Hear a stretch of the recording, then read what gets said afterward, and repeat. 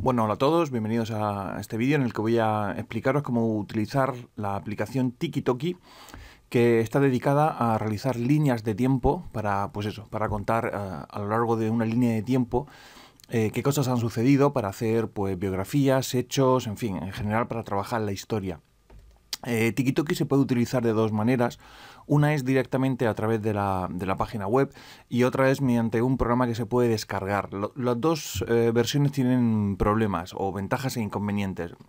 si hago el vídeo es porque me parece una herramienta realmente interesante, pero el primer problema que tiene es que eh, la versión gratuita eh, únicamente se puede hacer una línea de tiempo, con lo cual si hacéis una, eh, después para hacer la siguiente habrá que borrar la que ya tenéis para hacer una nueva y además no se pueden guardar, no se pueden guardar en el disco duro, por lo tanto todo el trabajo que se va haciendo se pierde, lo cual me parece un desastre. Ni siquiera las versiones de pago tampoco son especialmente buenas en ese sentido porque una te limita a 5 líneas de tiempo y la otra, que además vale un disparate de 25 dólares al mes, únicamente te deja hacer 25 líneas de tiempo. La solución es un programa que se puede descargar en el ordenador y que te permite eh, hacer infinitas líneas de tiempo y además te permite guardarlas como si fueran un archivo de Word o un archivo PowerPoint, con lo cual es la solución ideal. Pero, eh, bueno, si lo abrimos en una pestaña nueva, la aplicación es de pago. Eh, en este caso ya no es gratuita.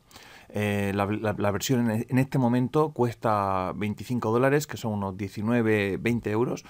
Eh, y la versión se supone que está en oferta, se supone que la versión costará cerca de 50. Bien, nosotros lo que vamos a hacer es, hemos comprado una copia de esta aplicación de escritorio para el colegio y en principio vamos a trabajar esta herramienta en el colegio.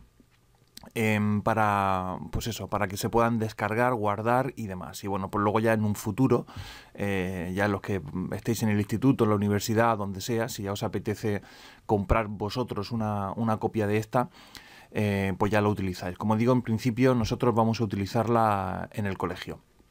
Bueno, pues eh, una vez que se compra, se compra, para comprarla hace falta utilizar Google Chrome, el navegador, y, se instala una tienda particular que tiene Google Chrome y luego, bueno, pues simplemente entraremos en aplicaciones y aquí tenemos Timeline Creator, que es la misma aplicación. Con lo cual nos vamos a hacer una nueva línea de tiempo. Y lo voy a colocar aquí arriba. Bien. Bueno, como veis, eh, pues eso, simplemente vamos a hacer una línea, una historia. en la parte inferior, como veis, tenemos los distintos años. En este caso, la línea de ejemplo empieza en el año 2009 eh, y va avanzando pues hasta el año 2020.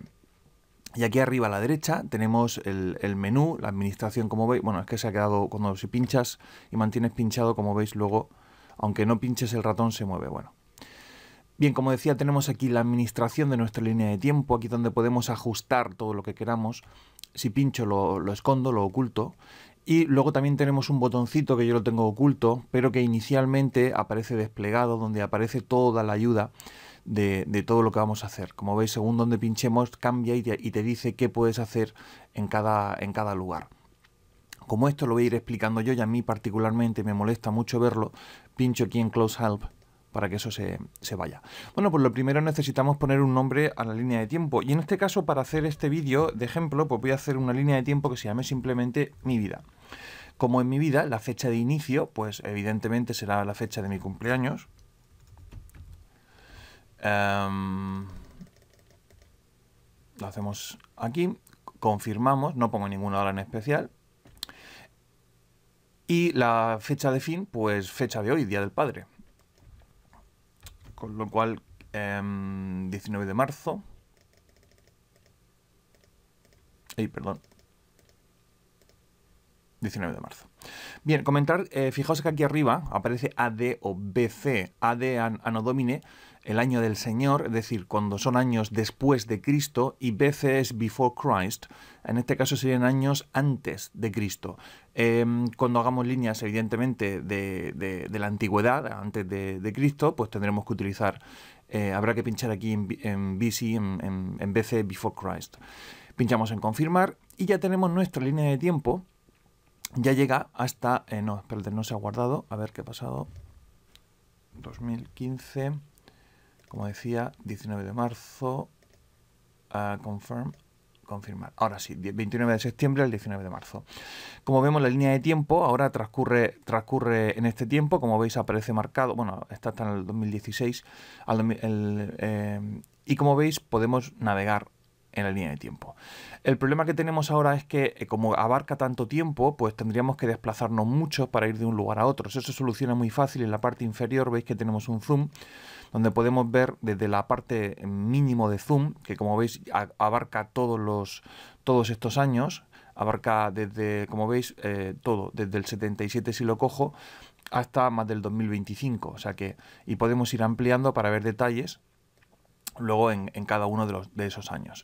Bien, pues em, en principio ya estaría, ahora haría falta una introducción, pues por ejemplo en esta línea de tiempo eh, verás los acontecimientos más importantes de mi vida. Y luego en About pues podemos eh, agregar información em, de interés o, o, ampliar esa información, ¿no? Pues en una bonita mañana de bla bla bla y podemos añadir todo lo que queramos. Bien, aquí tengo una página web que se llama Loren Ipsum. Eh, esto es genial porque inventa textos. Eh, simplemente te hace un texto que no significa absolutamente nada, solo que sirve de relleno y para hacer pruebas así, pues te rellena y parece que has escrito algo cuando en realidad eh, no significa nada, como digo. Así que voy a llenar esto con un bonito Loren Ipsum y pinchamos en Update para actualizar. Como veis, aquí puedo decir que dónde empieza, que empieza al principio de la, historia, al final o hoy. En este caso, esto es el primero, con lo cual comienza en el principio. Lo actualizamos y ahora si nos vamos aquí... perdón, eh, nos vamos a, luego veremos la, eh, la, línea de tiempo, luego veremos cómo, en la descripción, luego veremos cómo, cómo se ve. Bien, vamos ahora a empezar las distintas historias. Eh, las historias son los hechos o sucesos, qué ha pasado o qué voy a agregar dentro de la línea de tiempo. Aquí, eh, he preparado un documento en el que, bueno, pues tenemos aquí una serie, de, una serie de acontecimientos, en este caso he elegido 10, y bueno, pues lo vamos a ir agregando aquí. Pero antes de agregarlo vamos a pararnos a pensar en un momento. Quito esto un momento. Aquí tenemos una sección muy interesante que es el de categorías. Eh, categorías es, vamos a ver, como comentaba antes, qué cosas han pasado en mi vida. El nacimiento, pues yo diría que el nacimiento tiene que ver con lo que es mi vida. Eh, ahora digo el por qué digo la vida específicamente. Mi primer ordenador. Un ordenador para mí eso sería una afición. Eh, por lo tanto, mm, eh, esto como digo lo categorizaría como afición. Así que voy a ir haciendo ya estas categorías. En el primero, vida. Añado otra categoría que va a ser como digo aficiones. Y pincho siempre en update. Bien, vamos a continuar con el archivo, con el texto que veíamos. Comienzo el instituto. Eh, esos son estudios, por lo tanto, una categoría nueva que sea estudios. Pincho Update, actualizar. Eh, después, mi primera novia, eh, con lo cual eso puede ser también en vida, las cosas que uno, digamos, vive, ¿no? cosas importantes dentro de, tu, del desarrollo de tu vida. Em, después tendríamos comienzo la universidad, de nuevo esto sería estudios, ya tengo la categoría, no hace falta volver a hacerla. Trabajo por primera vez de maestro, esa categoría es trabajo. Uno en, su vida, el trabajo, em, eh, para vosotros todavía no, pero el trabajo para los adultos es importante. Em, hemos dicho trabajo primero de maestro, la moto de mis sueños, afición, eh, que estaría ya aquí arriba, como veis, al, al tener muchas hay que subir y bajar, aficiones. Compro mi primera cámara reflex, una cámara también es una afición, fotografía. Obtengo plaza definitiva en el Colegio de la Esperanza, eso es trabajo. Y me caso en Las Vegas, eso sería vida. Bueno, pues ya tengo todos los eventos eh, y como veis aquí he puesto los distintos años en los que esto sucede. Así que ahora sí nos vamos a ir al apartado historias, stories, y creamos una nueva historia. La primera hemos dicho que sería el nacimiento en 1977. Bien, pues entonces pongo nacimiento y aquí elijo el año. A ver, aquí no me acuerdo si se podía escribir directamente. No, había que poner...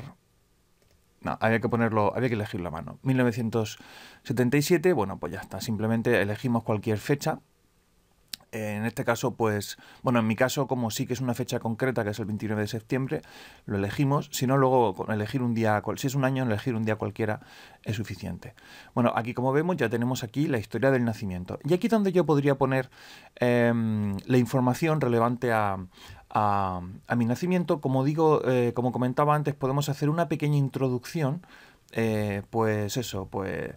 Eh, nací en el hospital en, Cieza, en bla, bla, bla, bla, bla, bla, no sé, un pequeño, un pequeño a la tal hora, pesé no sé cuánto y demás. Y luego si quiero añadir más información, información adicional, pues lo puedo poner aquí en full text. Si pincho en update, eh, veréis como aquí en la línea de tiempo aparece nacimiento, aparece categorizado en eh, aficiones. Cuidado, en esto se, me, ha, se me, he equivocado. Esto tendremos que cambiarlo a vida, que no sé por qué ha repetido dos. Vale, y entonces ya lo tengo cambiado, la categoría como veis aparece en vida. Si pincho en More, vemos cómo se amplía y tenemos, voy a quitar esto que no moleste, vemos cómo la introducción aparece destacado en amarillo, en, perdón, en blanco, en, negrita y en cursiva, y luego el resto del texto aparece, em, aparece ya en texto normal para poder ir leyéndolo. Bien, eh, pero podemos hacer más cosas. Si pincho de nuevo aquí en, en Admin, eh, tenemos ya pinchado nacimiento. Si yo ahora me voy a em, eh, en link, puedo añadir, por ejemplo, eh, un enlace a, por ejemplo, mi página web. Y podemos tener, como decía, podemos enlazar a, a, página web de pues algo que consideremos de importancia. Entonces aquí en, vamos a, a cerrar esto. Como veis aquí tenemos Find Out More abajo y esto nos abriría una página de internet eh, una página de internet con más información, con lo cual ahí podríamos ampliar. O simplemente a lo mejor podríamos poner la fuente de, si hemos escrito algo de, como digo, sobre histórico o demás, pues es una oportunidad estupenda para enlazar con la fuente de donde hemos obtenido esa información. También podemos agregar en Story Media, aquí a la derecha, Podemos agregar también imágenes. Aquí tengo una, he preparado una carpeta con diversas imágenes y aquí tenemos, por ejemplo, una que he elegido para el nacimiento. Bien, pues lo que hago es Add Media y aquí pincho en la lupa. Podemos, eh, podemos copiar y pegar dos imágenes. Por ejemplo, podemos hacer... Un segundo. Podemos, por ejemplo, coger una imagen ya de internet. Podemos ver esta imagen, copiar la URL de esta imagen y entonces yo esta la pego aquí. Eh, no funciona el botón derecho, tenéis que hacer control V. Eh, aquí no se puede utilizar de otra manera. ¿eh? Tenéis que pulsar la tecla control y sin soltar control, presionar V. Y entonces se copia la imagen, pincho, pincho en Update y aquí en Caption, bueno, no hace falta pinchar todavía en Update, simplemente como habéis visto al pinchar en otro lugar la imagen se actualiza. Y en Caption eso es lo que se llama un pie de foto, explica qué es esa fotografía. Perdón, por el teléfono. Y, pues, por ejemplo, pues este soy yo. Este soy yo. Pincho ahora de nuevo en Update y ahora como veis ya aparece la, historia, eh, aparece con una imagen descriptiva que está genial. Eh, no solamente podemos añadir una foto, podemos añadir más fotos. Si vuelvo a pinchar en Add Media, en este caso voy a elegir una foto que tengo de las que tengo en el disco duro, pincho en la lupa Ahora pincho en Choose Image. Bueno, podemos también elegir aquí la URL, como he comentado antes, la dirección de internet, o Local Image, es una imagen local en nuestro ordenador, en nuestro pendrive, donde queramos. Pinchamos en Image y ahora nos vamos a ir aquí, lo tengo en el escritorio, mi vida, y aquí tengo 1977, eh, pincho en Abrir imagen, ya la tenemos aquí, y luego podemos elegir también dónde la vamos a, colocar con respecto al texto. Por defecto aparece así, pero como veis tenemos varias formas de, colocarlo. Arriba, a la izquierda, a la derecha. En principio no hace falta que lo cambiemos, lo dejamos como está. Y ahora cuando pincho en More, nos aparece, de nuevo bajo esto, em, cuando pincho en la, imagen, eh, no, la, no la he actualizado. A ver un segundo, que no, no, imagen es una. A ver, voy a ver em, qué es lo que ha pasado. De nuevo en admin, media. Ah, porque no he pinchado en update, ¿vale? Entonces, de caption, en este caso no voy a poner nada. Pinchamos en update y ahora ya tengo sí las dos imágenes. Cuando pincho en una de las imágenes, more, ¿veis? La tengo ya aquí abajo. Ya tengo las dos, las dos imágenes. En este caso, mirad cómo es el pie de foto. Este soy yo. Y a la derecha, en cambio, pues no he puesto nada porque ya pone aquí Chaboy y me parece que es eh, suficiente. Bien, a ver, perdón, que le he dado aquí a abrir la, ayuda y lo que quería era cerrarlo. Bueno, pues el mecanismo, el, resto funciona exactamente igual, así que el resto lo voy a hacer muy rápido. eh, pero simplemente pues para que veáis cómo, cómo quedaría eh, a la hora de trabajar y a la hora de, hacerlo todo como quedaría. Nos vamos al siguiente, por ejemplo, que sería mi primer ordenador. Voy a dar control C para copiar. Hemos dicho en 1988. Así que hacemos em, Stories, New Story, mi primer ordenador. Eh, nos vamos a 1988. Ay, perdón, 1988. Eh, le damos a Confirm. Y de nuevo aquí en para poner la historia nos vamos aquí al, al Loren Ipsum por ejemplo, esto, mismo y aquí pues hacemos una pequeña introducción hasta aquí por ejemplo y el resto en full text. Esto sería mi primer ordenador, en aficiones está bien catalogado y no voy a poner ningún enlace, así que simplemente le doy en update. En cuanto a, perdón, a Story Media, le damos a añadir, le doy a la lupita, choose image y mi primer ordenador y ahora eh, no cambiamos la imagen, cerramos aquí y simplemente pinchamos en update. Ya tenemos aquí mi primer ordenador. De nuevo Stories, Create Stories. Eh, de nuevo copio y pego. Comienzo el instituto, 1991. Confirmar. En este caso sería estudios, la categoría. Eh, de nuevo aquí tengo que poner algo de, de Lorin Ipsum. Pues esto mismo. Vale, hasta aquí y de aquí abajo en full text. Eh, vale, nos vamos a eh, perdón, update, story media, add media, eh, choose image, instituto, eh, dejamos la imagen por defecto y update. Ya tenemos la imagen. De nuevo otra historia. Primera novia, 1995. Confirm. esto sería en vida, que ya digo, no sé por qué se ha duplicado aquí. Eh, vale, seguimos, update, y ahora nos vamos a Story Media, Add Media, Lupa, y bueno, creo que lo voy a dejar aquí porque ya veis, ya veis cómo, cómo funcionaría. Bueno, aquí le he dado a la, a la imagen, pero no haría falta. Eh, pinchamos Update la imagen y bueno, pues ya está. O uno más y ya, y ya termino. Eh, comienzo la universidad, pues de nuevo, eh, perdón, Create Story. Comienzo la universidad, 1995 Ah, bueno, aquí veréis como, por ejemplo, cuando coinciden dos hechos dentro del mismo año, aquí lo podéis ver. Esto no me lo ha cambiado. Ay, no me ha cambiado las fechas. A ver, mi primer ordenador hemos dicho que es en el 88. Ahí, no. A ver, un segundo. Hemos dicho que esto... A ver, update. Mi primer ordenador. Vamos a cambiar la fecha. No la ha cambiado, no sé. Me ha pasado ya varias veces. 1988. A ver, ¿por qué no la cambia?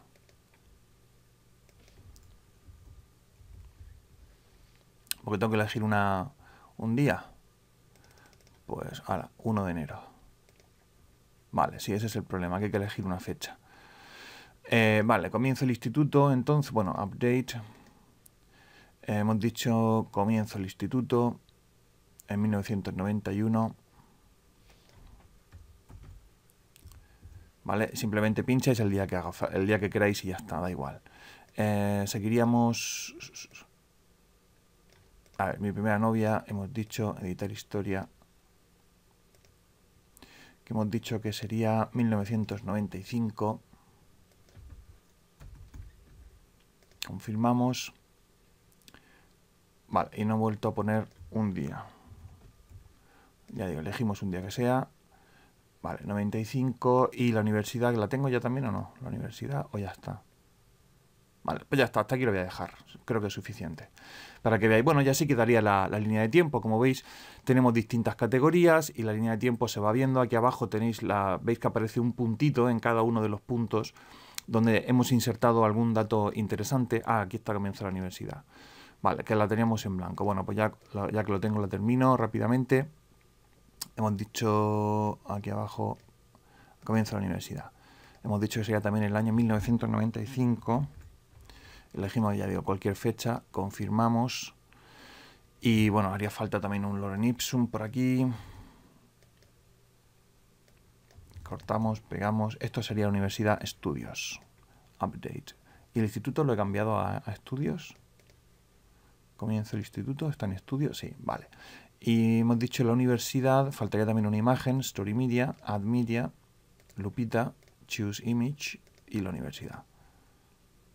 Eh, vale, cerramos, Update y ya está. Ahora lo cerramos y como digo ya lo tenemos todo. Bien, si veis, esta sería...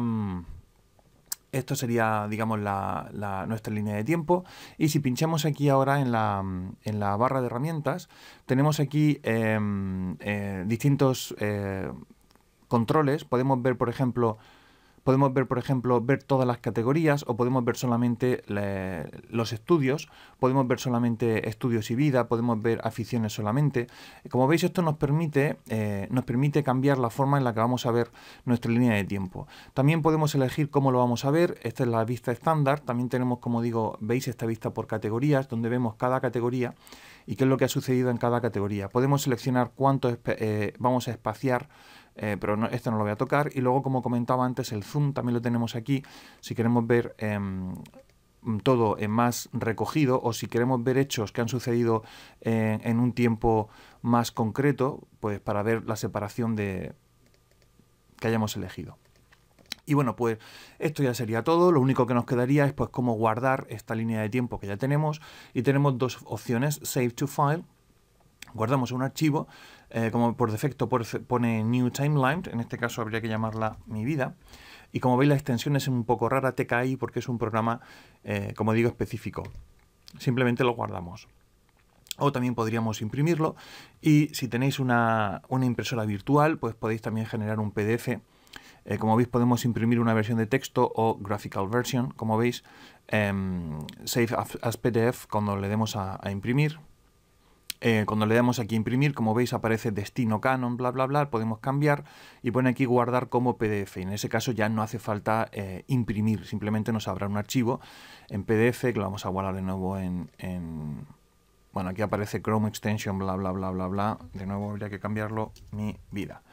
Y bueno, pues si lo abrimos, pues aquí tendríais, como veis, el, el resultado. Habría que girarlo, evidentemente, para poderlo ver correctamente, pero bueno, realmente a mí impreso no me, no me hace demasiada ilusión.